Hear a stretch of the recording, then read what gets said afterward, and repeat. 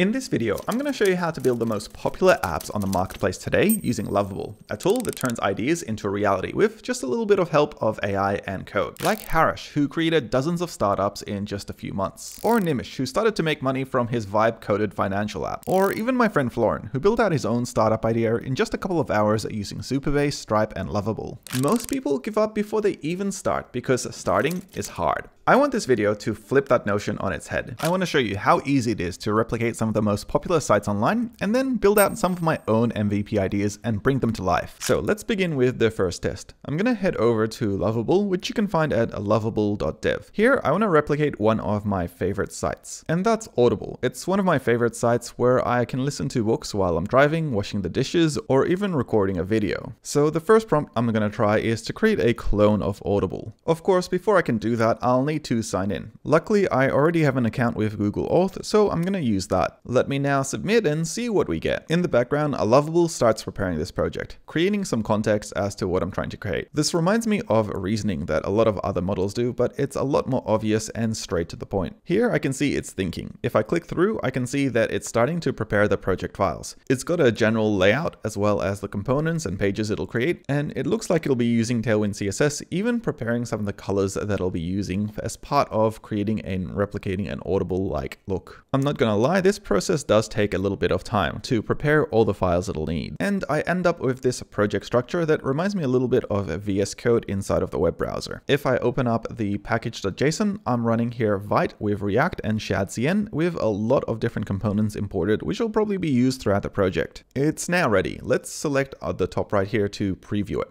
Now, if I go through, it actually kind of looks better than Audible. I like this purple look as well as the name, Echoverse. Here it's got some preview of some popular books uh, like Atomic Habits as well as Dune. It's not just this homepage, I can click through to browse and library and even expand out the book itself or start clicking through on some of the items. This is all just front end, so I can't actually click to play anything, but it does give me a starting point if I wanted to build out an app like this. The buttons aren't particularly working right now because the text is invisible. I think because it's not pulling in black text on white buttons. So let's see if we can prompt Lovable to fix this problem. Using the chat, I'm going to select to fix the white buttons as the text is invisible and hopefully it can figure out what to do. It starts rewriting some of the ShadCN files here for the components like the buttons and here's the working version. Pretty impressive. The next example I want to recreate is a YouTube. It should be no surprise that I spend most of my time on YouTube and the rest of the time making content for YouTube. So let me see here if I can create a clone of it which I can customize and use for my own purposes. And so here it is, already encoded. If I preview, I've got this browser here. Let me expand it out. I've got my menu on the left, search on the top, as well as videos I can actually click on. Though they take me to this uh, Rick Allister video, which, well, nice work, Lovable, you got me there. These are just two quick examples to show you how quickly Lovable does at even cloning new projects. You can have a look at the source code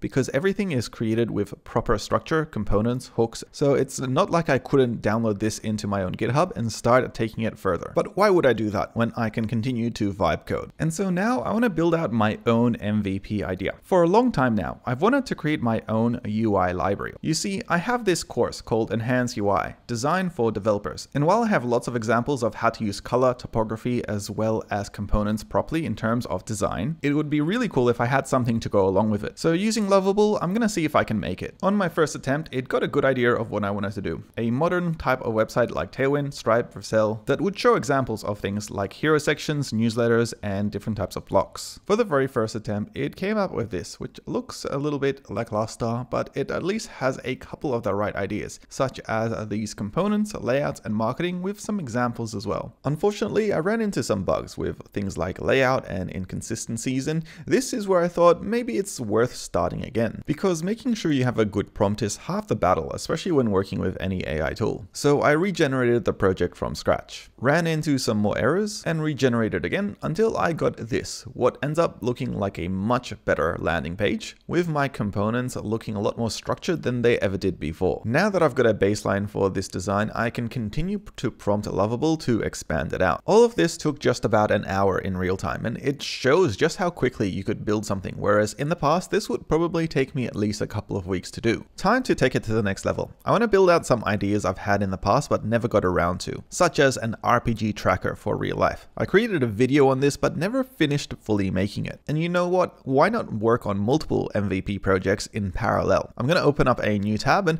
work on another idea right here. Since vibe coding is all the hype right now, wouldn't it be cool if we could also do vibe designing? So that's my idea. I want to create a canvas where people can vibe design different types of website designs or app designs. And here's what that looks like. I've got a nice little application here that allows me to drag and drop different sections, zoom in and out of a canvas, and talk to an AI assistant to be able to do a lot of these things. And here I've got my RPG tracker, which works for both the desktop and mobile viewports. It has my stats, quests like working out, reading a book, or meditating, and it's pretty much perfect of what I was envisioning. Now that I'm pretty happy with this project, I want to save this to my own GitHub. I can do this pretty easily by simply syncing Lovable with my GitHub profile, and this will also upload this current project to it. And here it is on GitHub if I wanted to download it locally and continue working on it. The thing is, I've gotten kind of used to vibe coding and I want to connect up a database and maybe some authentication. So I'm going to use Supabase, which is already part of Lovable to be able to make this happen. The project is automatically created for me here inside of Supabase and then I can also connect it straight up to this app to allow it to do things like signing up for a user, logging in and tracking the results. And again, these are tasks that normally take me days, if not weeks as a professional to do. Now in the hands of pretty much anyone to be able to accomplish.